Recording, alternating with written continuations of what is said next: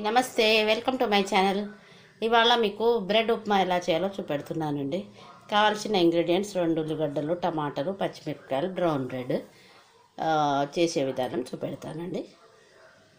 పొయ్యి మీద కడాయి పెట్టుకొని పొయ్యి అంటించి కడాయి పెట్టుకొని ఆయిల్ హీట్ అయినాక ఇందులో మనం జీలకర్ర ఆవాలు వేసుకోవాలండి.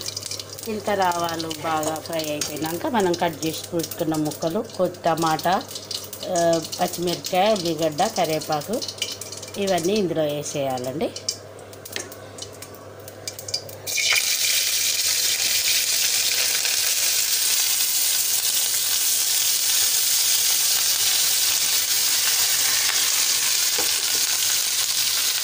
వేసుకొని మంచిగా కలుపుకోవాలి.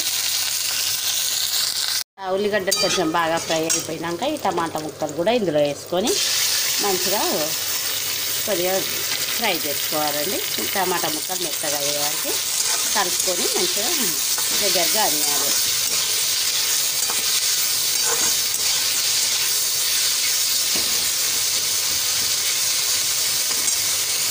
టమాటాలు కొంచెం మ్యాష్ అయినాయి. మనం ఇందులో కొంచెం ఉప్పు వేస్తే టమాటాలు పూర్తిగా మ్యాష్ అయిపోతాయండి. టేస్ట్కి కొత్తిమీర వేయాలి. కొత్తిమీర ఇందులో కొత్తిమీర వేసాను. కొత్తిమీర వేసి మనం మంచిగా కలుపుకొని ఇందులో నిమ్మకాయ కొంచెం ఒక హాఫ్ నిమ్మకాయ పులుసు పిండుకొని ఇందులో వేసుకోవాలండి. వేసుకొని మనం ఇప్పుడు చూడండి బ్రెడ్ అంతా మ్యాష్ చేసి పెట్టుకున్నాం. బ్రెడ్ అంతా చిన్న చిన్న పీసెస్గా ఓ three four pieces bread cut చేసి పెట్టుకున్నామండి. ఇప్పుడు దీన్ని మంచిగా కలుపుకొని ఈ బ్రెడ్ పీసెస్ని ఇందులో వేసేయాలండి.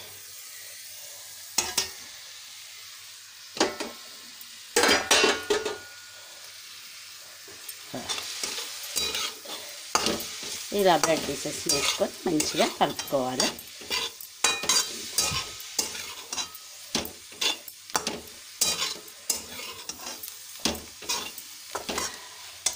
కాసేపు మూత పెట్టి పెట్టాలండి.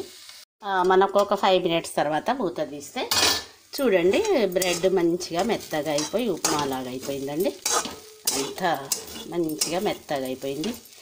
టమాటాలు కొన్ని వెట్టుకుంటాయి కాబట్టి టమాటాలతో ఆ బ్రెడ్ ఇదంతా సాఫ్ట్గా ఉప్మాలాగా అయిపోతుందండి.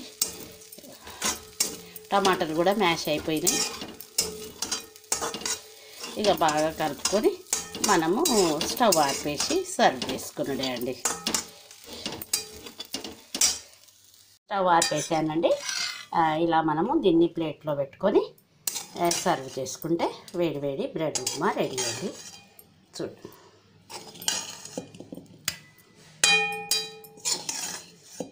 దీంట్లో అన్ని ఇంగ్రీడియంట్స్ వేసాం. టేస్ట్కి మనకు మంచి టేస్ట్ వచ్చేటంత కాస్త పుల్ల టేస్ట్ రావడానికి నిమ్మకాయ కూడా పిండాం కాబట్టి టేస్ట్ చాలా బాగుంటుంది. చూడండి ఇలా ఉంటుంది. ఓకే ఫ్రెండ్స్ థ్యాంక్ మీరు కూడా ఇంట్లో ట్రై చేయండి. ట్రై చేసి ఎలా వచ్చిందో నాకు కామెంట్స్లో చెప్పండి. Okay friends thank you for watching. Please subscribe my channel. Okay thank you.